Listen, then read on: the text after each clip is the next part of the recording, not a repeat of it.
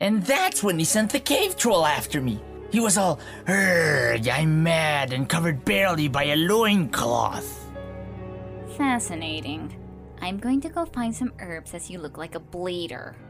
Don't follow me. I was a little worried when he stomped on me. That's when I started weeping. Uh, to lull him into a false sense of security, of course. Psst. Hey, kid. Welcome. Care to get yourself some new weaponry? Great golly moly! You know, it's kinda odd how the villagers, though bent on our destruction, were nice enough to leave these around to help. Not to mention all the ammo and secret plans. In fact, I. That's the biggest barrel I've ever seen! Is it pump action? Huh?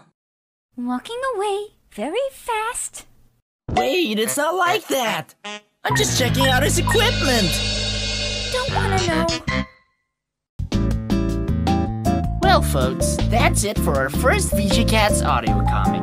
Thanks for watching. Um, listening. I'm just glad it's over. Hey, what are you so bummed about? I know! Let's play a game! No, Um, how's TF2 sound? No, D&D? no. Left 4 Dead? Knock it off! Aw, you don't have to be so grumpy about it. Oh, I know what'll cheer you up. A song!